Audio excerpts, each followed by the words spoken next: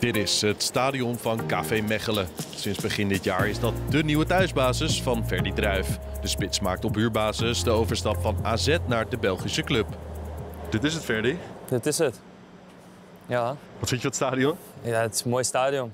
AVA-stadion, hè. Is niet, niet echt eh, veel veranderd daarin. Nee. Nee, nee, maar eh, ja, het is een heel mooi stadion. Grote stap, transfer naar het buitenland.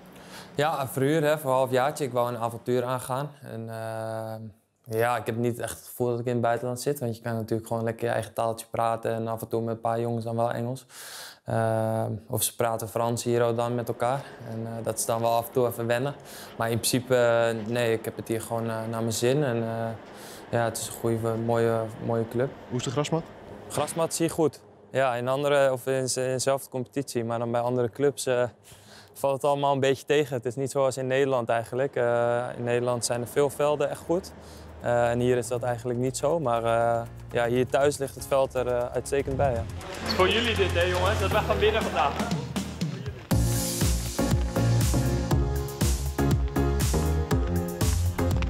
Ik deel normaal nooit, alleen voor de camera.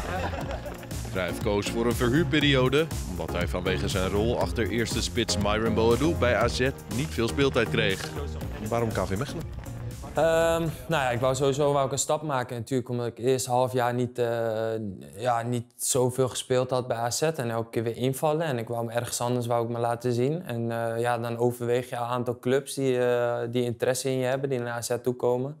Ehm, dan ga je in gesprek met een aantal clubs. En ja, toen ben ik hierheen gegaan. Ben ik heel open ontvangen. Mooi stadion, zoals, zoals je hebt gezien. Ehm, ja, goed gesprek, een vertrouwd gesprek. Ehm, en ja, ik wou gewoon een avontuurtje aangaan. En eh, ja, dat was, eh, dat was hier. En eh, ja, ik ben er heel blij mee dat ik dit heb kunnen doen en eh, dat ik dit heb gedaan. Ferdi kwam tot nu toe tijdens 14 wedstrijden in actie voor KV Mechelen, maar dat was wel bijna altijd als invaller. Je hebt denk ik wel wat minder minuten gemaakt dan je van tevoren had gehoopt. Hè? Ja. Hoe ga je daarmee om? Eh, ja, gewoon blijven doorgaan. Ja, het is, eh, weet je, voetbal, voetballerij zit mee of het zit gewoon tegen. En nu zit het een klein beetje tegen, maar eh, in principe moet je, nooit, moet je nooit stoppen. Want je moet jezelf altijd laten zien en je wilt beter worden. En eh, dat kan je altijd weer meenemen naar, eh, naar de volgende stap. En eh, de volgende stap moet, moet van de zomer weer blijken of dat bij AZ is of dat het dan weer ergens anders is. Ja, het zou zomaar kunnen. Dat, dat weten we niet. Maar in principe, ja, het is gewoon elke dag trainen. En het is gewoon hard trainen. Het is gewoon een leuke groep om mee te trainen. Dus ja, je moet nooit stoppen. Nee. Nou, dat, dat zegt ook wel wat over jouw mentaliteit, toch? Ik bedoel, zowel in het veld, maar ook daaromheen. Ja, ja, zeker. Ik denk wel dat, dat mensen mij ook wel zo zien eigenlijk. Ehm, ja, je hebt natuurlijk mensen moeten het hebben van hun talent. En je hebt mensen die, die, zich, eh, ja, die zich moeten laten zien om hard te werken. En ik, ben daar dus één van. En natuurlijk heb je talent, want anders ben je natuurlijk niet hier waar ik, eh, waar ik nu sta. Ehm, maar ja, ik ben wel iemand die ook van de mentaliteit moet hebben en 100% inzet in trainingen en wedstrijden. Druif speelde vanaf jonge leeftijd in de jeugdopleiding van AZ. Hij scoorde met name voor jong AZ aan de lopende band. Onderkant lat van Jacobs. De herkansing is van Druif. Voorzet is nog gevaarlijk en daar is nog de 2-3. Bal wordt net over Jacobs heen. Druif scoort. Ferry Druif, zelf onderuit gehaald, scoort hier de 1-1. Reinders met eh, de vrije trap. Fase blijft staan. En dan is het eh, doelpunt nummer 6 voor Freddy Druif. Ja, hij scoort overal en altijd. Toch kost het de spits wel even wat tijd om te wennen aan het voetbal in Mechelen. Het is een heel ander systeem ook. Ehm, het is hier ook, is het meer, qua voetbal is het meer wat beuken eigenlijk, om het zo te zeggen, om het grof te zeggen. Eh, in Nederland is het juist weer dat voetballen, mooi versierd eh, voetballen. Ehm, ja, en dat zie je gewoon even iets anders. Eh, de velden zijn gewoon even iets minder. In het stadion bij ons ligt het er echt wel echt heel goed uit. Maar ja, als je uitspeelt af en toe, dan is dat echt verschrikkelijk. Ehm, dus ja, dat is allemaal wel echt wel wennen. En natuurlijk ook met die jongens, hoe, zij spelen, wat ze van je verwachten. Eh, hier is het meer in de bal komen. En bij AZ was het juist meer weg van de bal blijven. En eh, ja, in de, in de 16 komen. Eh, dus dat is allemaal wel even een stukje anders en eh, wennen. Maar eh, ik voel wel steeds meer aan mezelf dat ik er wel lekker in kom. Dat beuken en, uh, en vliegen, dat past natuurlijk wel bij jou, toch? Ja, past zeker bij mij. Dus daarom was ook die keuze natuurlijk om, uh, om hierheen te gaan. En niet in Nederland te blijven. Dat was ook dan nog een keuze. Uh, maar in principe ja, ben ik wel blij om, om zo'n keuze te maken. Omdat ik dan nu weer zeg maar, een soort van mijn rugzak bijvul. Omdat ik andere, ja, andere dingen ga doen. qua ander systeem, andere spelers, ander, andere cultuur. En ja, daarom heb ik ook zo'n keuze gemaakt om hierheen te gaan. Inmiddels woont Druif in een fijn appartement vlakbij het stadion, maar in het begin was dat anders. Toen sliep hij in een hotel. Ja, de eerste paar dagen is het prima om dat te doen, maar als je daar echt weken in zit, dan, uh, dan komen die muren zo wat op je af. Uh, je zit daar alleen maar, je zit daar een beetje te gamen. Je hebt alleen eigenlijk in principe een bed en ik heb dan een keukentje. En uh, ja, dan zit je een beetje op bed, zit je een beetje series te kijken, films te kijken. de eerste week heb je natuurlijk helemaal niks. Maar ik ben blij dat ik nu in een appartement zit. Want uh, ja, dat, is niet, uh, dat is niet lekker als je twee weken of drie weken lang in een, appart of in een hotel zit. Waarom ben je bij dit appartement uitgekomen? Um, ja, omdat er een tuintje in zit. Uh, ik heb natuurlijk een hond die, die lekker naar buiten kan, deur open en ja, gaat hij lekker zijn ding doen. Maar de hond is, is er niet? De hond is er niet, nee, nee, nee. Die, is, die is in Nederland. En ja, af en toe komt hij hier ook. Mooi in de tuin rennen. Maar niet al te vaak? Niet al te vaak, nee, want hij graaft. Dus we moeten hem in de gaten houden. Als hij, uh, en uh, de baas woont hierboven. Die vindt het niet zo leuk als er een gat in, in het gras zit. Hij heeft al één, één gat gegraven. Nou, toen zei hij van we gaan even paaltjes halen met een hek. En nu gaat het goed zo? Nu gaat het goed zo.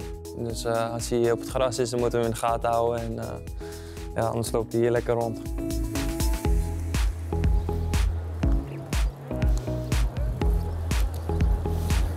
Dit is het dan. Het appartement van Verdi is niet alleen dicht bij het stadion, ook het centrum van Mechelen is om de hoek. En dat is fijn. Ja, mooie stad hoor. Zeker, absoluut. Ja, het is, uh, nou wat je ook ziet eigenlijk.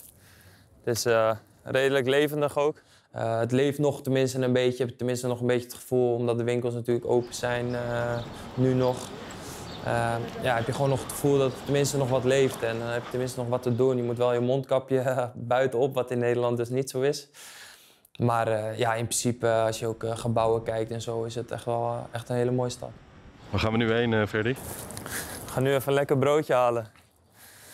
Daar zijn we regelmatig om als we hier in de stad zijn. Gaan een broodje halen, een koffietje halen. En dan, of we nemen het mee naar het appartement, dat kan ook. Of even gezellig in de stad opeten. Of gezellig hier in de stad opeten, maar je mag natuurlijk nergens zitten. Dus dan gaan we maar op de grond zitten of zo. Hoi. Zekers. Mogen wij twee uh, grillige kip van die be met bagel? En twee koffie. En hoe is, merk je dat Mechelen een Belgische stad is? Of dat het anders is dan Nederland? Ja, het is zeker anders dan Nederland, ja. Ja, ja, ja. Ik, uh, ja ze praten wat anders hier ook. Alleen manneke. Sommigen zijn echt heel lastig om, uh, om naar te luisteren. Uh, ze verstaan mij allemaal wel, maar ik af en toe niet. Het is wel het is een ander gevoel. Alleen ik heb niet echt het gevoel dat ik echt in het buitenland zit of zo. En het is ook maar twee uurtjes rijden vanuit huis. Ehm, dus ja, of ik nou echt een buitenlands gevoel heb, dat, dat niet. Wat doet nu dit buitenlandse avontuur met jou? Uh, ja, het doet natuurlijk wel wat. Je bent natuurlijk weg van je familie uh, en van vrienden. Uh, het is wel maar twee uurtjes rijden, dus eigenlijk heb ik in principe niet heel veel te klagen daarin. Alleen ik blijf wel zoveel mogelijk hier. als ik een vrije dag heb, dan rijd ik wel naar Nederland toe en dan familie bezoeken of wat dan ook. Um, ja, dus dat neem je altijd wel weer mee. Ehm, bij AZ was ik redelijk gemiddelde leeftijd en hier ben ik gewoon jong. Dus uh, het, het, verschil is wel, uh, dat is er wel. Wat merk je dan? Dat je de jongste of jonger, een van nou, de jongste ja, bent? Hier uh, moet ik in het midden met een rondo en bij AZ was het een lange na niet dat ik in het midden moest. Dus dat merk je wel. Vandaag, vandaag op de trainingen zat ik bij de jonkies. Dus ja, dan moest ik die jonkies meeslepen en ja, dat is alleen maar mooi natuurlijk, want dan heb ik nog het gevoel dat ik jong ben. maar bij de rondo wel dan alleen aan het begin in het midden, toch? Daarna niet meer? Daarna niet meer, nee. nee. Eén keer en dan is het genoeg. Verdi moet het in Mechelen niet alleen doen zonder zijn familie. Zijn vriendin Demi, met wie hij in Nederland samenwoonde, is twee keer per week bij hem in België. Is het lastig dat jullie elkaar niet zo vaak zien of zeg je van eh, stiekem, eh, is dat wel lekker? Dat is toch heerlijk? Nee, nee, nee. nee, ja, kijk, weet je wat het is? Het is wel gewoon nog een stukje... ehm, ja, hoe zeg je dat? Ja, een beetje vrijheid nog nu of zo. Om het zo maar te zeggen. Ehm, maar het is, het is prima, het is goed te doen. En eh, ja, wij facetimen dan wel, eh, wel regelmatig. Dus eh, nee, het is wel gewoon goed te doen. Ja, maar dat zijn ook de, de offers die je moet maken als voetballer. Ja, ja, zeker. Dat zit gewoon zomaar, daar hebben we een keuze voor gemaakt. Dat hebben we in het begin hebben we ook uitgesproken. Dat we sowieso wel een, een stap naar het buitenland willen doen. Eh, mijn vriendin is wel heel avontuurier ook. Zij heeft 12 jaar in Duitsland gewoond. Dus eh, ja, zij wil eigenlijk graag die kant op. maar eh, in principe vindt ze het heel leuk om eh, in het buitenland. Ze is een halfjaartje is, weg geweest. Dus in principe vindt ze het buitenland hartstikke leuk om, om mee te maken. En nu is het natuurlijk even iets anders, omdat ze de werk nog heeft. Regelmatig blijft ze gewoon in Nederland voor, voor haar eigen in principe. Ondanks die afstand gaat er wel iets heel moois gebeuren over niet al te lange tijd. Zeker, ja, absoluut. Ja, ja, ja. Mijn vriendin is zwanger. En eh, ja, superleuk natuurlijk, absoluut. Dat, eh, ja, dat, dat kan niet beter eigenlijk. En nog een jongetje, dus eh, komt de voetballer aan. Ja, wordt het een voetballertje? nou ja, dat moet hij helemaal lekker zelf weten, joh. Maar eh, ja, het zou natuurlijk hartstikke leuk zijn. Eerst een cadeau is een bal in zijn handen en dan eh, zoekt hij het maar uit. Hij mag het helemaal zelf weten, maar je gaat hem wel een klein zetje in de goede Ja, richting natuurlijk, geven. dat moet wel. Ja, ja, ja. Nee, ja hij, hij komt in een voetbalfamilie, hè, dus eh, dan, ik geef hem wel een zetje en dan moet hij kijken wat hij ermee doet. Mis je AZ een beetje? Of ik mis. Ja, tuurlijk. Ik heb altijd bij AZ gespeeld. Dus eh, ja, tuurlijk. AZ is een thuis. En eh, ja, dat, eh, dat mis je altijd wel. Dat ga je altijd wel missen, ook als je weg bent. Deze heb ik nog in huis. Ja, dat heb ik, eh, heb ik in de tas. Als ik nog extra moet sporten of wat dan ook. Dan, eh, ja, dan doe ik hem nog wel eens aan, ja. Verdi kwam tijdens 40 wedstrijden in actie voor AZ1 en daarvan springt er eentje uit. Ja, mijn mooiste moment was, eh, ja, was zeker Partizan natuurlijk. Dat, Ja. was, eh, ja, dat was niet normaal. Dat was echt een droom eigenlijk. eh. ja, dat, dat- dat- nog steeds als ik dat zie, ik krijg nog steeds kippenvel eigenlijk. Druif loert daar, kopt hem ineens en Druif kopt hem erin. Het is 1-2. Dat is een vrij miraculeuze treffer. Nou ja, die wedstrijd duurt nog al met al een minuut of zes. Mietje heeft het dan niet helemaal onder controle. Wel de voorzet. Daar is Druif weer. Ja, ja, ja,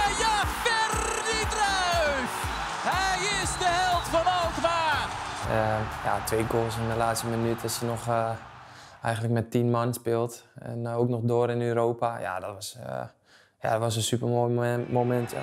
Het is afgelopen. AZ overwint het. Wat een krankzinnige wedstrijd was dit. Denk je daar nog vaak aan terug? Eerlijk? Ja. ja, nee, ja, nog wel zeker, absoluut. Omdat dat wel iets, iets met je doet natuurlijk om eh, ook iets ja, voor je club, voor mijn club, eh, waar ik zo lang gespeeld heb, om, om zoiets moois mee te bereiken. En eh, om daarbij eh, ja, zo'n grote stap te zetten naar Europees voetbal, ja, dat was, eh, ja, dat was geweldig. Dat was gewoon echt, eh, echt iets heel moois. Jij wilt er ook op, hè? Kom. Eerder zei je van ja, ik wil graag het, het avontuur aangaan. Heb je het avontuur gevonden? Ehm, ja, ik vind het hartstikke mooi. Ik vind het echt wel. eh, het is gewoon. Het is gewoon wel genieten om, om hier te zijn, om, om dit te kunnen doen. Want je moet er ook van genieten, vind ik. En ehm, ja, ja, ik ben gewoon blij om, eh, om hier te zijn en eh, om in ieder geval dit te kunnen doen. Kijk je naar de toekomst? Ehm, ja, ik ben nu natuurlijk verhuurd, dus ik weet niet wat, eh, wat de club straks, straks met elkaar gaan doen. Ehm, maar in principe, ja, ik hoop gewoon goed terecht te komen. En of dat dan bij AZ is. Ik heb het altijd al gezegd van, eh, ik wil doorbreken bij AZ. En eh, ja, als de trainer daarin vertrouwen straks spreekt, dan, eh, dan zal ik er zeker staan. En als dat niet zo is, ja, dan zullen we het ook weer zien.